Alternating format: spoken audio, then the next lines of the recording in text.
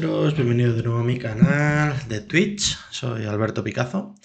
En esta ocasión, pues para seguir, como podéis ver, ya tenía creada la carpetita, mientras que daba un par de minutos para, que se fuera conectando la gente. He ido creando la carpeta para luego ir avanzando. Contexto, eh, ya sabéis, estamos haciendo un curso, un curso de César, en el cual, después de completarlo, eh, nos dará opción a que nos den un, un certificado de CSARP de completar, ¿vale? Para que lo añadamos en nuestro LinkedIn o donde queramos, ¿vale? Y demostremos que sabemos eh, programar en CSARP. Con lo que... Uy, perdón, ya empiezo. ¿Qué llevamos hecho hasta ahora? ¿Vale? Eh, recordar que todo el contenido primero lo hago en Twitch en directo por si tenéis alguna duda y luego lo subo eh, a la semanita por ahí al canal de YouTube, más o menos una semana, 10 días. Y con lo que si no podéis eh, conectaros en los directos, que sepáis que podéis seguirlo por el canal de YouTube, pues para poder completar el, curso y saber hacerlo y, obtener el certificado. ¿Qué llevamos hecho hasta ahora? Llevamos hecho el módulo 1 entero, el módulo 2 y eh, vamos por el módulo 3, que hemos hecho los tres, las tres primeras secciones. Con lo que vamos por la cuarta sección, iterar eh, usando for. Esta puede ser interesante. Ya sabéis, entramos dentro de la sección, abrimos el enlace en una nueva pestaña o en la misma, donde queráis. Y vamos para allá. Voy a hacer un poquito más grande que veamos. Y ya sabéis, normalmente hago un módulo por directo. Hay veces que como este parece que no va a ser largo, hay otros que luego duran una, una hora y pico. Bueno, pues normalmente lo solemos hacer así, ¿vale? Eh, para no dejarlo a medias ni, hacer dos de una porque puede hacerse cansino. Con lo que vamos para allá. En este módulo que vamos a ver los objetivos del aprendizaje es el uso de la instrucción for para recorrer el bucle, eh, en bucle un, un, bloque de código. Y la modificación del modo en que en el entorno de ejecución de .NET ejecuta la lógica del bucle, del bucle con cambios en el valor del iterador, la condición y el patrón. Esto básicamente es pues para que sepamos cuándo podemos salir del bucle. En los requisitos previos, como siempre digo, es haber visto lo de antes. Y vamos para allá. Introducción. Hay varias formas de agregar lógica de bucle a una aplicación y en función del contexto, cada una de ellas ofrece un conjunto de características matizados que tiene ventajas y desventajas. Eso es como todo. Eh, vimos en el vídeo anterior el switch y siempre ya comenté cuando hacíamos el if que luego veríamos el switch para tener más opciones y poder elegir cuándo usar una y otra, porque muchas veces iterar muchos ifs es una locura cuando tienes disponible eh, o sabes usar un switch. Y con el for eh, es lo mismo. Eh, ahí está el for, el for each, el do while y el while, que nos ayuda más o menos a hacer lo mismo, pero como siempre, si hay cuatro, cuatro formas de hacer algo, eso es porque hay una forma mejor que otra de hacerlo, ¿vale? En este caso vamos a ver el for, ¿vale? Que es, es un iterador el, más sencillo que hay, ¿vale? Imagine que estás a punto de empezar a trabajar en una aplicación que procesa datos numéricos y de cadena mediante matrices unidimensionales y multidimensionales. Después de un examen inicial se da cuenta de que las instrucciones for each no admiten la lógica de bucle que será necesaria en muchos casos.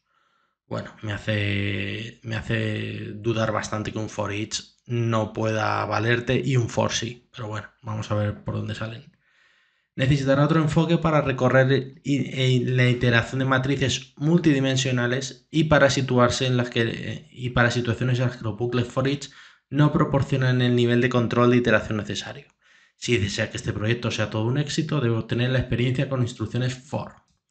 Bueno, puede, que haya un caso concreto en el cual el for nos puede ayudar más que un, que un for each, a ver si es más o menos lo que nos van a decir, que es en el acceso a las matrices multidimensionales. Cuando es bidimensional, pues tenemos eh, que vamos a recorrer la matriz en, pues, en las coordenadas x, y, pues en el 1, 2, 3, 4 en el índice, o cuando son multidimensionales, ya sería como un cubo de Rubik, ¿vale? Si yo queremos, queremos eh, acceder a la posición 1 mm, dimensión 3, pues con un for podemos anidar dos for en el cual por un lado recorre una dimensión y con el otro recorre la otra dimensión.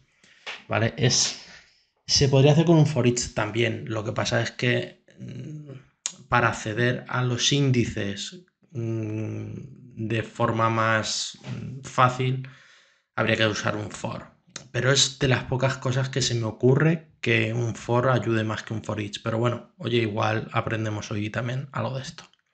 En este módulo comenzaré escribiendo instrucciones for que realizan un número específico de iteraciones.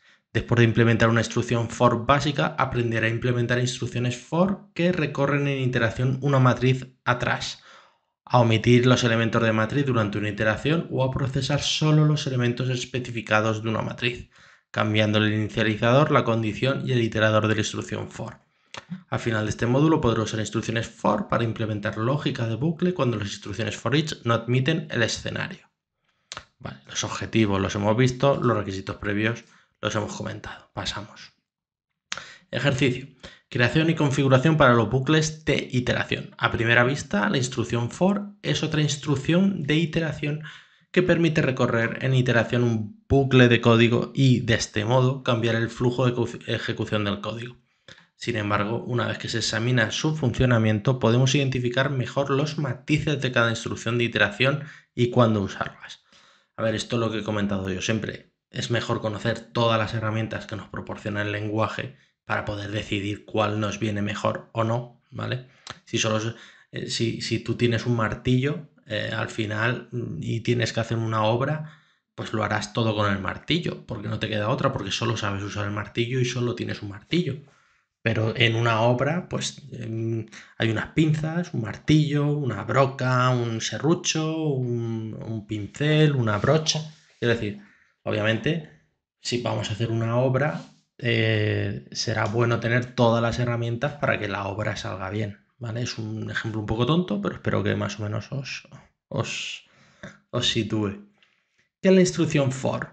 La instrucción for recorre en iteración un bloque de código un número específico de veces. Este nivel de control hace que la instrucción for sea única entre las demás instrucciones de iteración. La instrucción for each recorre en iteración un bloque de código una vez por cada elemento de una secuencia de datos, como por ejemplo una matriz o colección. La instrucción while recorre en iteración un bloque de código hasta que se cumple una condición. Por eso digo, hay varias opciones. Asimismo, la instrucción for proporciona un mayor control sobre el proceso de iteración gracias a que se exponen las condiciones para la iteración.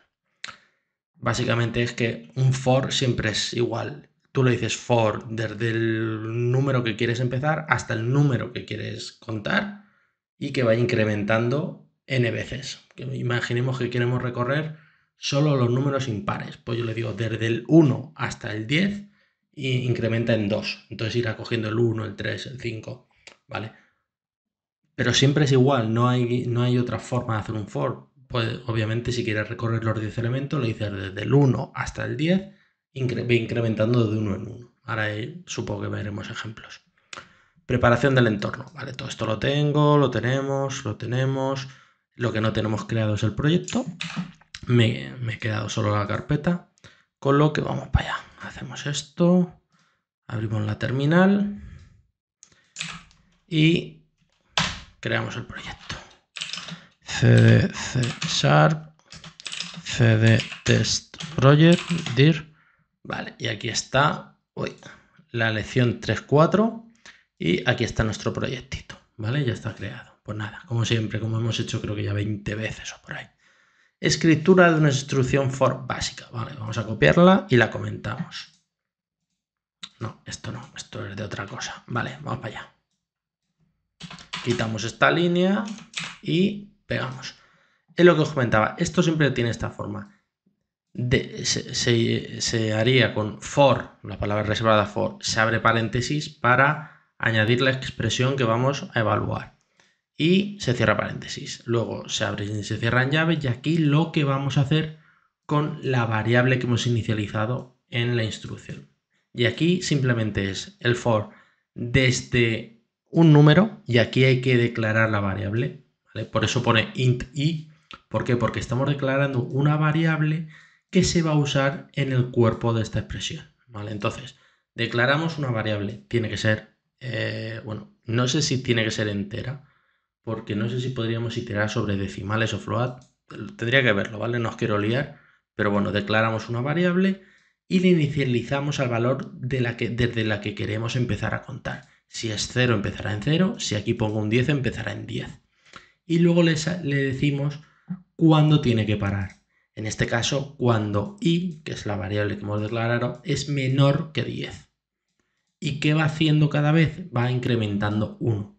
Yo aquí podría poner que incremente 1, que vaya de 10 en 10, de 100 en 100, de 2 en 2, de 3 en 3. Aquí es cada vez que itere, que pase por uno, un bucle de estos, pues el primer bucle i será 0, con lo que se cumple la condición de que i es menor que 10. Sí, porque es 0, ¿verdad? Pues entonces entra por aquí, aquí pintaría un 0 y se incrementa en 1. ¿Vale? Se incrementa en 1 y vuelve a entrar. Ahora i sería 1. i es menor que 10, que sería 1 es menor que 10, sí, con lo que sigo en el bucle. Aquí pintaría ya un 1 y cuando vuelva a entrar incremento en 1 y, ¿vale? Y así voy tu, tu, tu, hasta que i sea 10 eh, y, y evaluaríamos 10 es menor que 10. No, es igual, pero no es menor. Con lo que ya se saldría de este for y ya no, no evaluaría más iteraciones, ¿vale? Así funcionó un for, no hay más, ¿vale? Vamos a llevarnos al otro lado, porque si no, ese es mi curro de mañana, que tengo que acabar una cosa. Vale, así funciona un for. Eh, ¿No ves? El output sería 0, 1, 2, 3, 4, 5, 6. ¿Vale? Vamos a verlo aquí para que veáis que no me invento nada. Bueno, sí me invento porque hay que salvar. Ya sabéis que hay que salvar porque si no salvamos sale el hello world de siempre, porque siempre se me olvida. ¿Vale? ¿Qué ha hecho aquí? 0, pues entra por aquí y lo inicializamos a 0 y como evalúa que 0 es menor que 10, pinta con software line el valor de i. ¿Vale? El valor de i en, el primer, en la primera iteración es 0. Entra por la segunda. Como hemos incrementado 1, pues el i es igual a 1 y eso, pues pinta 1, 2, 3, 4, ta, ta, ta.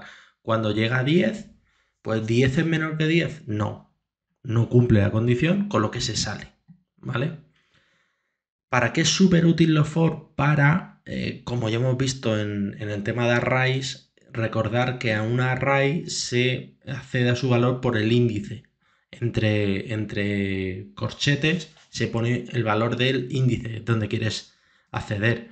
Con lo que si queremos recorrer un array y obtener todos los datos, ¿cuál sería una forma correcta? Pues lo metemos en un for, en el array del corchete de i voy obteniendo todos los valores. Que eso realmente lo que hace un for each pero como dice, a lo mejor solo quiero evaluar los pares o quiero evaluar, a lo mejor el, el, array o la colección tiene mil elementos y solo quiero recorrer los 10 primeros, cosas de esas, ¿vale? Aquí lo que está explicando es lo que yo ya, lo que yo os he explicado. Lo único, recordar por si no lo habéis visto o no, no habéis seguido el curso, cuando ponemos i más más, esto lo que hace es incrementar la variable en 1, ¿vale? Si i es 0, con el más más le incrementamos a 1. Si es 1, lo incrementamos a 2, ¿vale? Lo hemos visto durante el curso, por eso digo que lo ideal es que lo hayáis visto entero, pero bueno, es lo único así que puede que nos suene. Cambio de las condiciones de iteración, ¿vale? Ahora vamos a usar el i menos menos. El i menos menos, igual que el i más más añade 1, el i menos menos va Mm, decrementando el valor. Y aquí vamos a poner este ejemplo, por ejemplo. Y, menos menos. Con este ejemplo y con lo que hemos comentado hace un momento, ¿qué hará? Pues inicializamos una variable a 10 y le estamos diciendo mientras que i sea menor que 0, no, mientras que i sea mayor que 0, va a ser verdadero, ¿vale? Y entonces por cada bucle va a decrementar 1 en i. O sea, en el primer, el primer console while va a ser 10, después va a ser 9, después va a ser 8, llegará un momento donde sea esto 0 y 0 es menor que 0. No, es igual, pero no es menor, con lo que separará ahí.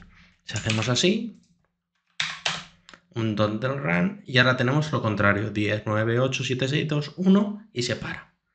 ¿Vale? Quiero decir que podemos hacerlo para incrementar, podemos hacerlo para decrementar. Y bueno, tomáis un minuto para revisar el código, es lo que os he comentado. Experiencia con el patrón iterador. ¿Cómo se, puede omitir cómo se pueden omitir algunos valores en la variable del iterador? Use el editor Visual Studio para copiar esto. Vale. Y aquí era lo que os comentaba. Recordar que he dicho, cuando aquí eh, en el iterador podemos ir incrementando de uno en uno, de dos en dos o decrementando, pero también he dicho, podemos a lo mejor ir de tres en tres. Pues es lo que ha hecho. Aquí hemos inicializado i a cero y hemos dicho, eh, vas a empezar en cero, mientras que i sea menor que 10 vas a estar iterando, pero en vez de ser i más más, que cada vez que entra por el bucle sumas 1, yo le digo que i cada vez que entre en el bucle le voy a sumar 3. Con lo que, ¿qué hará esto? En la primera iteración pintará un 0, eh, después sumaré 3, con lo que pintará un 3, después pintará un 6, después pintará un 9. ¿Vale? ¿Por qué?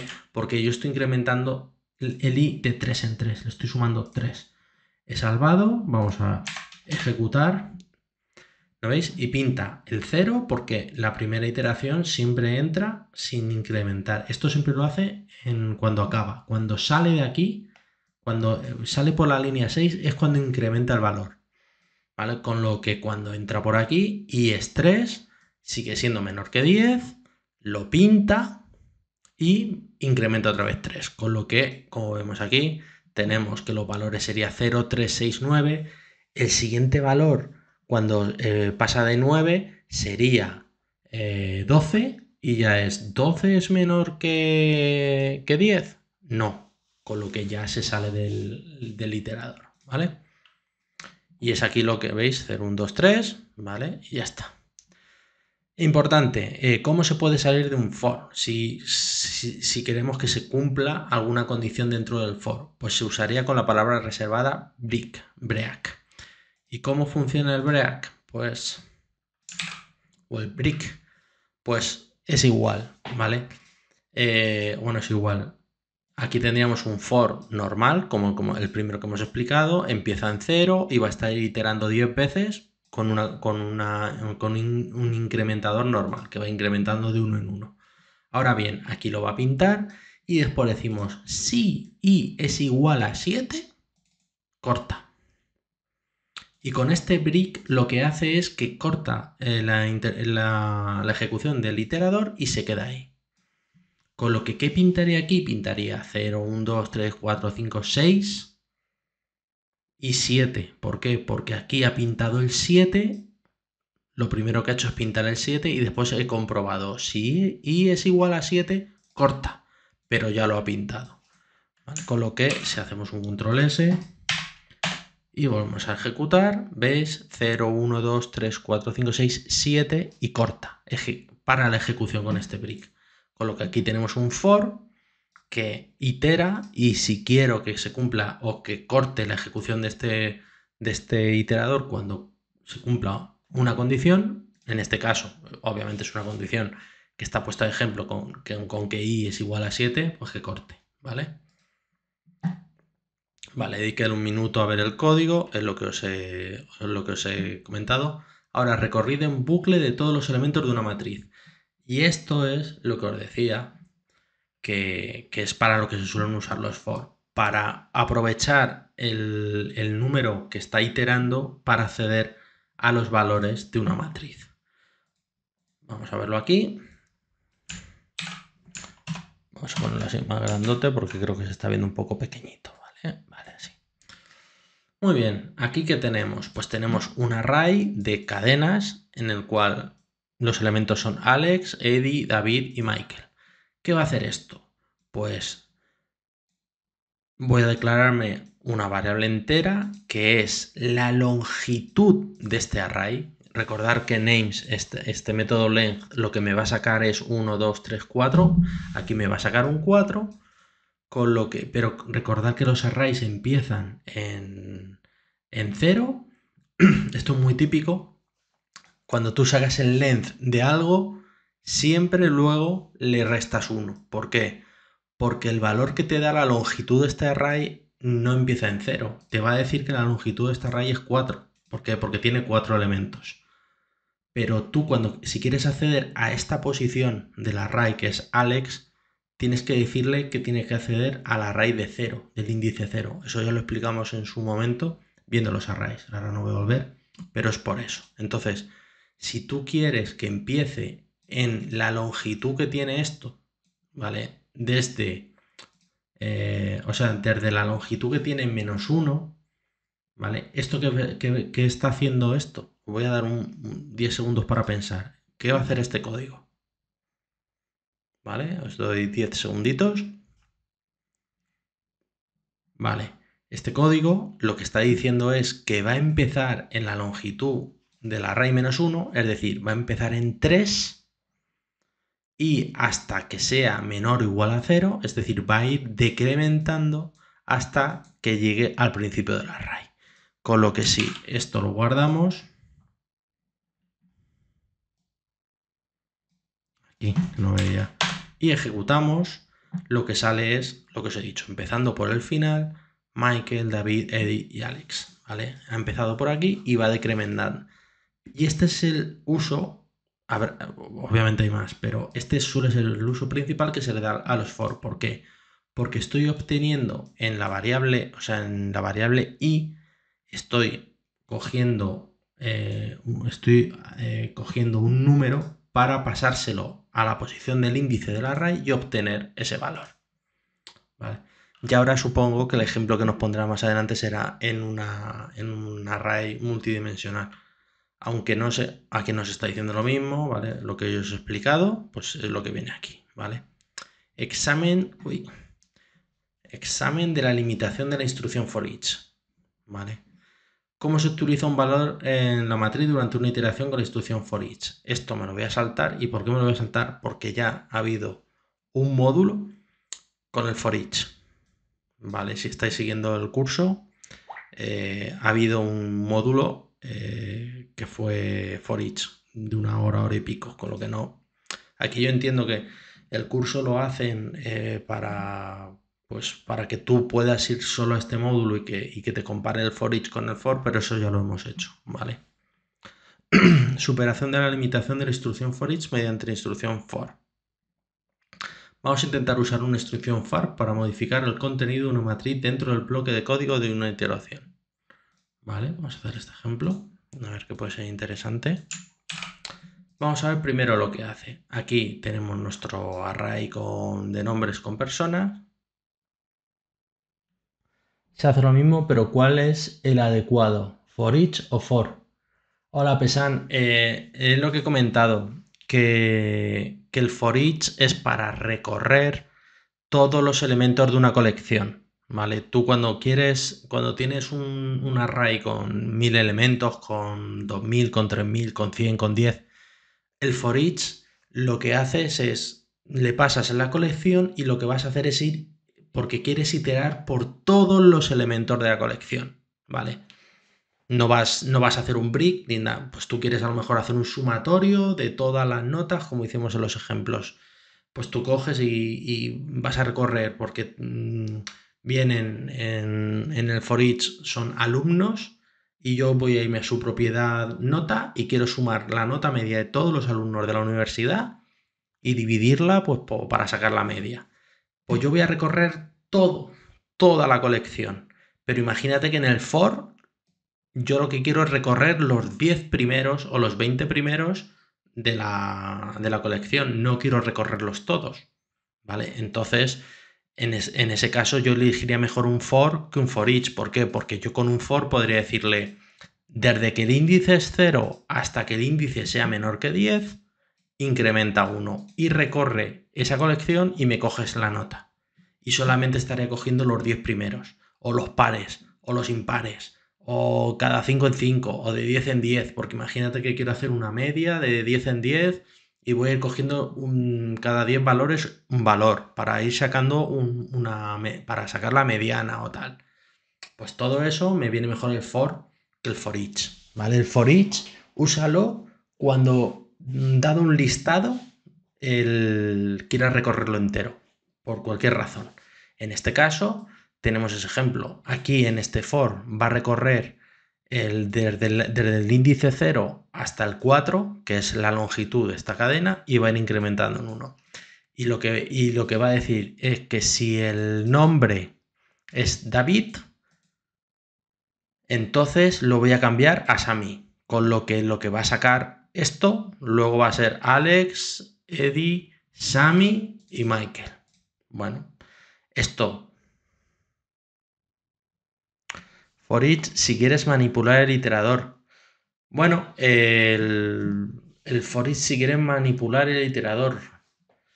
Mm, ahora lo veremos. A ver lo que nos dice for si, for si se tiene que iterar todo. No, es todo lo contrario, eh, Pesan. For each es si quieres iterar por todo y for si quiero modificar el iterador. Eh, lo has dicho al revés, ¿vale? For each cuando quiero recorrer toda la colección. Y for cuando quiero manipular el iterador para obtener pues, los pares, los impares cada 10, cada 5. ¿Vale? Perfecto. Entonces, en este caso, eh, aquí manipulamos el array y luego lo mostramos. ¿Vale? Hacemos el console. Con lo que sí. Uy, no he salvado. Control S, no salvado. Y, ¿veis? Ha hecho Alex, Eddie, Sammy, ha cambiado, ha encontrado David y ha puesto Sammy. Pero esto, lo que hemos hecho con este for, también lo podíamos hacer con un for each. No sé si lo voy a poner aquí como ejemplo. ¿Vale? Aquí for, for each. ¿Vale? No haces ejemplo, lo vamos a hacer nosotros, ¿vale? Para que veáis que también se puede. Vamos a coger un for each. Vale, por cada name en names, lo que vamos a hacer es coger esta condición Y aquí esto ya no sería, como vamos a recorrer el... el vale, aquí...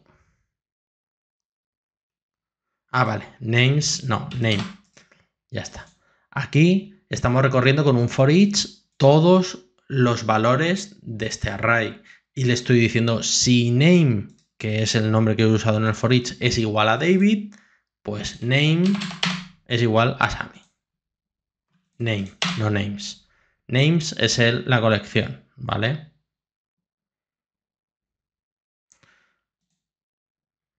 Es un iterador. Vale, sí. Ya sé a lo que se refiere con el ejemplo del for. Como name, vale, como name. Ya entiendo por dónde va el ejemplo, ¿vale? Como name es una variable que yo he eh, creado para poder recorrerla e iterar en ella, no puedo decir que name es igual a Sami porque porque es una variable del for each.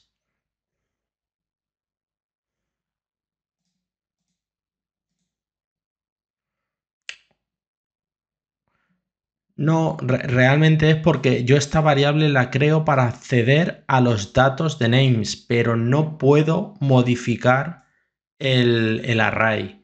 ¿vale? Entonces, por eso usa, por eso usa el for, porque el for, aquí, porque el for sí que me permite acceder al índice donde está la información que quiero acceder y, eh, y cambiarla, ¿vale? Porque aquí sí que estoy accediendo a este valor, a David, a David en este caso. Con el for each yo accedo, es un get, accedo a la información, pero no puedo cambiarla, no puedo setearla, ¿vale? Entonces, en este caso también habría que usar un for en vez de un for each, ¿vale? Porque el for each mm, es para obtener información, para iterar sobre una colección y solamente recuperar la información.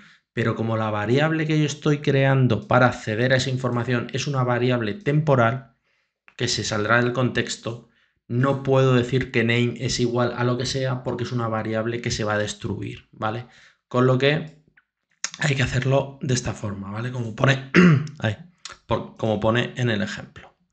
Prueba de conocimiento. ¿Cuál de las siguientes instrucciones for es la correcta? Pues vamos a ver, for int igual a... No, esto ya no es correcto porque hay aquí dos puntos que ya está mal.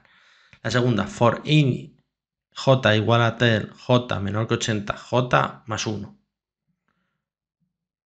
pues tampoco está bien porque debería ser j igual a j más 1. O sea, debería cambiar el valor de j, pero no estoy cambiando el valor de j. Estoy simplemente diciendo j más 1, con lo que mal. Y en este entiendo que será la buena. For int counter igual a 20, si el contador es 20, hasta que el contador sea 80, counter más más. Vale, pues esto sí que es una forma. ¿Cuál de las siguientes instrucciones debe usarse para hacer un bucle for? El brick. Se lo hemos dicho. Comprobamos las respuestas y correcto. Molto bene, continuamos. Ejercicio. Realización de una actividad de desafío con instrucciones for e if. Vale. Desafío FitBuff. FitBuff es un conocido desafío de codificación y un tema que se suele plantear en las entrevistas. Sirve para ejercitar la comprensión de las instrucciones for y if. Esto debe ser e if, Pero bueno. El operador de resto y el dominio de la lógica básica. Igual no tenemos lógica básica. vale, desafío de código. Estas son las reglas de feedback que necesito implementar en el proyecto de código. Valores de salida de 1 a 100. Un número por línea dentro del bloque de código con una instrucción de iteración. Vale, vamos a ir haciendo... ¿Nos dice el código o no? ¿No? Pues nada, lo vamos haciendo. Vamos a ir haciendo lo que nos dicen. Valores de salida de 1 a 100. Vale, pues lo que hacemos es crear un for de 1 a 100 y que pinte ese... Lo que te referías, Pesan, que por qué no había un, aquí una llave en la línea 5, porque estaba así.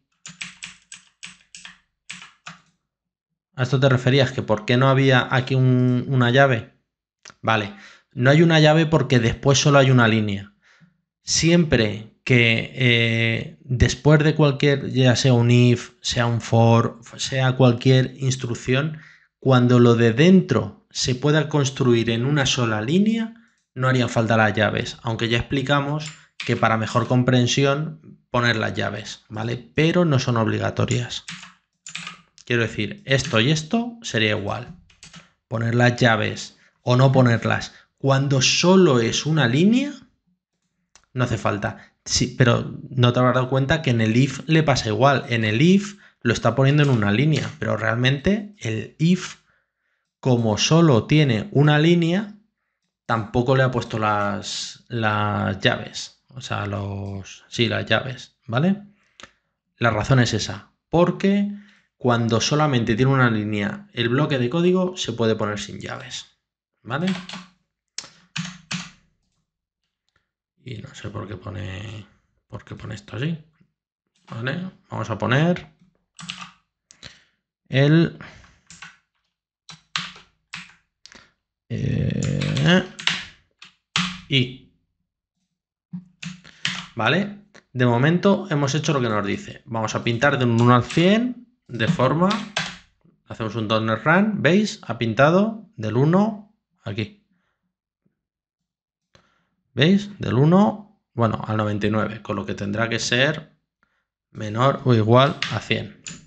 Si hay que pintar los 100 primeros, así sería. Ahora sí que pinta hasta el 100, vale. Si el valor actual es divisible por 3, se imprime el, el término fifth. Si es divisible por 3, con lo que habrá que usar el módulo. Con lo que aquí ponemos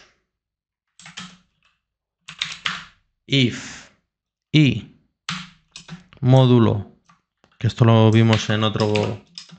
Vale, si y es divisible, si la división de i entre 2 es igual a 0, pero que eh, no, ha dicho 2, ha dicho 3, ¿no? Perdón, ¿qué está? Por 3, ¿vale? Si es divisible entre 3, menudo lío de ventanas, estaréis mareados. Vale, si es divisible entre 3, hay que pintar fifth, ¿vale? Pues, pues esto. Entonces en vez de li pongo fifth. ¿Vale? ¿Qué más nos dice? Si el valor actual es divisible por 5, se imprime el término puth. ah, junto al número. Vale, se pone junto al número. Vale, eso no lo había visto. Con lo que aquí pondremos fifth. Aquí ponemos el valor del número.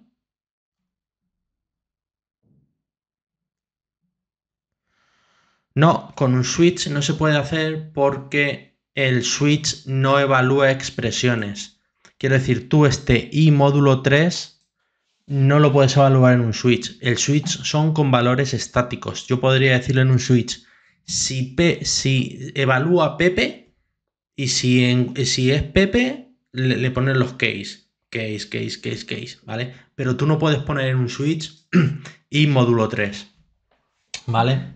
No es que tarde mucho, sino que no se puede hacer directamente, ¿vale? Entonces, aquí que vamos a poner el valor de i y fifth. Si es divisible entre 3. Eh, si es entre 5,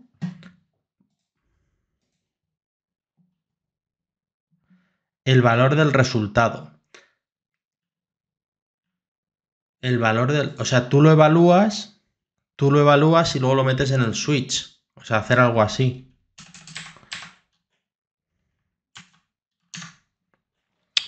Um, bar.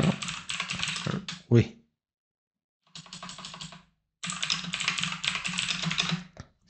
A módulo 3 y ponemos switch resultado.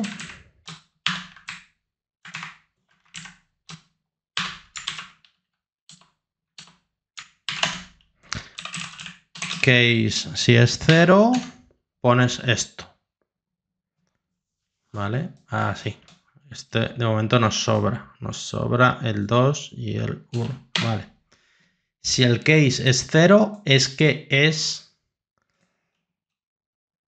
si el resultado es 0, es que es divisible entre 3, con lo que pondríamos i fifth, ¿vale?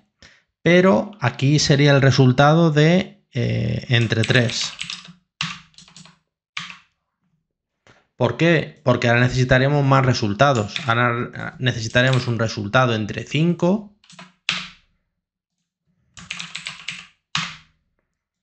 ¿vale?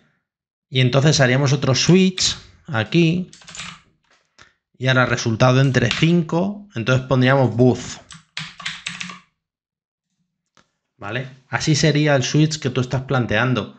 Pero en este caso nos aporta más complejidad que un if. Date cuenta. Este sería el switch que tú estás planteando. Claro, no, no tiene ningún sentido, Pesan. Este es el switch que tú estás planteando, que sería primero tenemos que necesitamos una variable para almacenar un valor y luego tenemos un switch con un solo caso, que es si el caso es, mm, si, el, si el módulo entre el valor y 3 es 0, es que divisible entre 3. No habría más casos, con lo que no tiene sentido hacer un switch, ¿vale? Pero como eh, estamos aquí para ayudar y resolver dudas, lo hacemos y así tú lo ves y ves que no tiene sentido, ¿vale? Y por eso tiene sentido esto, ¿vale? Que si esto es, si el, valor del índice entre, o sea, módulo 3 es igual a 0, es que sería dividible entre 3 y pintaríamos fifth, ¿vale? Lo siguiente que nos dice es que si el valor actual es divisible por 5, imprime el término puth. Vale, pues esto aquí. Esto lo que vamos a hacer es un copy-paste rápido y aquí le cambiaríamos si módulo 5 es 0, aquí pintaríamos booth. ¿Y qué más? Si el valor actual es divisible por 3 y por 5, imprime el término fitbooth, ¿vale?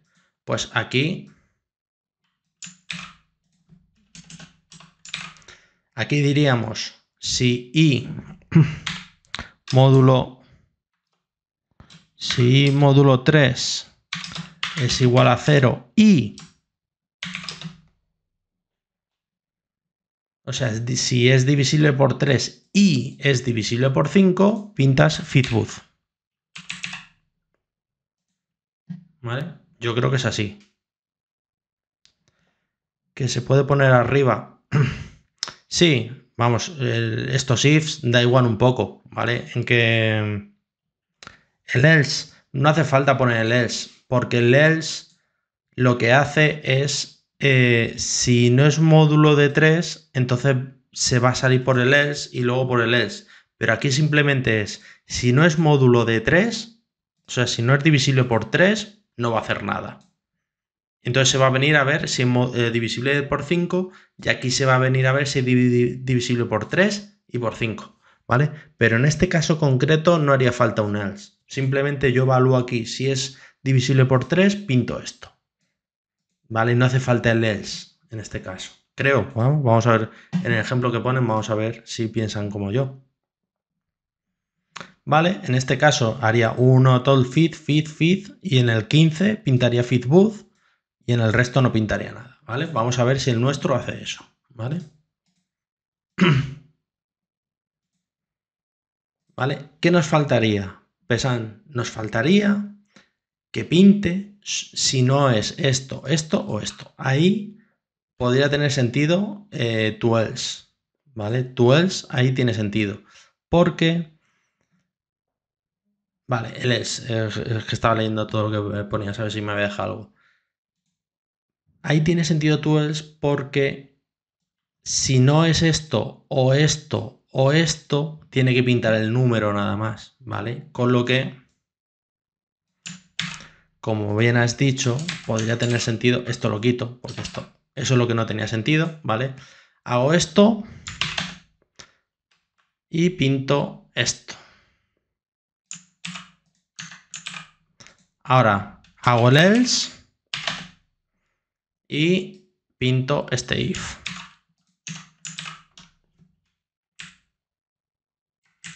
Así. Y ahora hago el else de ese if. Y ese else sería este if.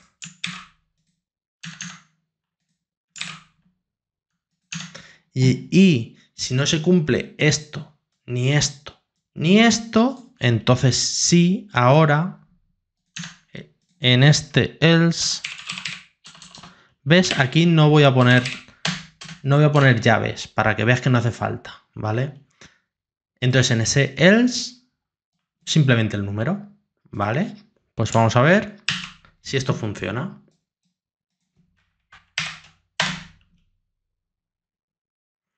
Vamos a ver, tiene buena pinta, así de...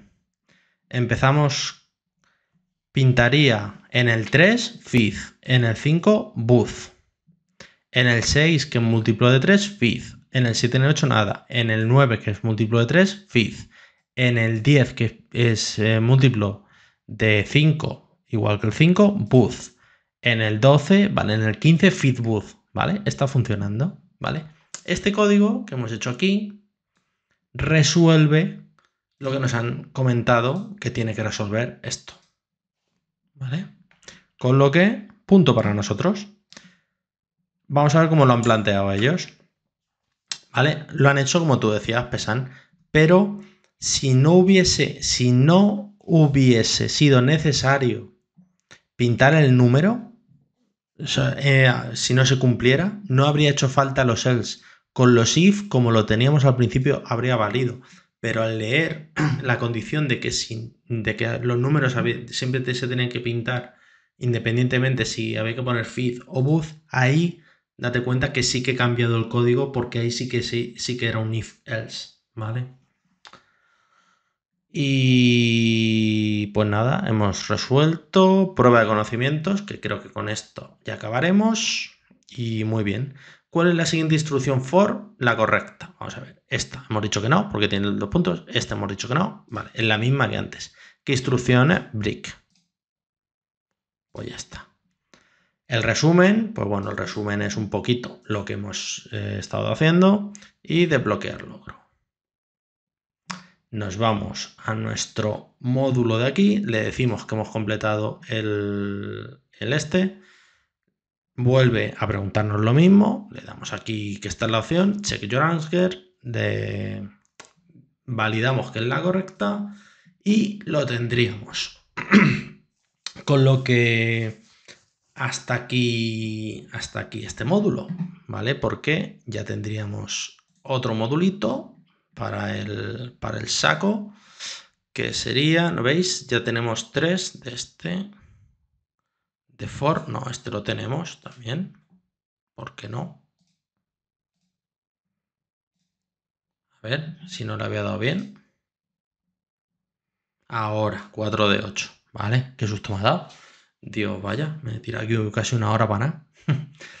vale, eh, ¿alguien en el chat tiene alguna duda de lo que hemos estado haciendo? ¿Cuándo se usa for? ¿Cuándo se usa for each y todo esto? ¿O, o ya lo damos por, por concluido el directo.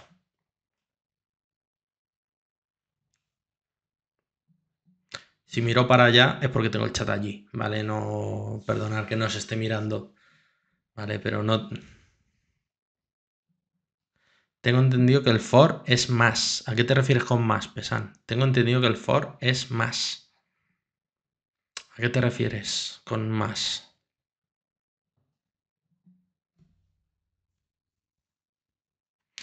Eficiente. Bueno, realmente, realmente sí que es más eficiente porque realmente tú, el for, lo que estás haciendo es iterando, obteniendo los índices. El for lo que hace es obtener un número, un, índice. Tú le dices desde dónde quieres iniciar el valor y hasta dónde quieres que llegue. En el for, si te das cuenta, lo único que estás haciendo es calculando un número, el 0, el 1, el 2, el 3, el 4, el 5, ¿vale? Con lo que Dentro del for utilizas ese número pues para acceder a una matriz o acceder a lo que quieras, pero el for es muy eficiente porque la, carga operacional que está haciendo es muy baja. Al revés que un for each, el for each lo que hace es manejar, o sea, em, meterle un wrapper a una colección creando una variable, una abstracción de la, del contenido de la colección y lo, mapea al array que tú le has pasado, que tiene que ser el mismo tipo de datos, obviamente, para poder acceder a ella. Con lo que ahí hace, obviamente, hay muchísima más carga operacional eh, que en el for. Eh, mm, con los ordenadores y la potencia, la memoria y todo el rollo, normalmente se suele usar menos, quitando algunos casos concretos como el que hemos dicho. El for each es eficiente en string. El for each es eficiente en array de string. Eh, sí, claro, porque no son objetos. Sí, sí, claro. Tú, si el. Si, el, la colección son o números o array de strings o de caracteres, o sea, tipo de datos básicos, no tiene que hacer una conversión a objeto, que es donde se va la carga de eficiencia. Es decir, si tú, lo que pasa es que los for each los solemos utilizar para recorrer eh, colecciones de objetos. Imaginemos que tenemos un array, una colección, una lista con clases alumno. Y el, alumno tiene el nombre, apellido, dirección, email, teléfono, ciudad, ta, ta, ta, ta, ta, tiene un montón de propiedades. ¿Qué pasa? Que yo para acceder a la información de ese alumno, lo que estoy mapeando es una colección a un objeto una clase. Eso tiene que serializarlo, mapearlo y eh, setear todas las propiedades que tiene a una variable para poder acceder a él. Entonces, obviamente la carga computacional es más alta. Si el tipo de datos es un array, un número o cualquier tipo simple primitivo, obviamente la, la eficiencia del for each es igual que la del for, ¿vale? Espero que lo hayas entendido, eh, Pesan. El, La diferencia es eso, que el for each, mm, si son tipos primitivos, da igual usar un for que un for each porque la eficiencia va a ser prácticamente igual. Puede que un poquito mejor el for.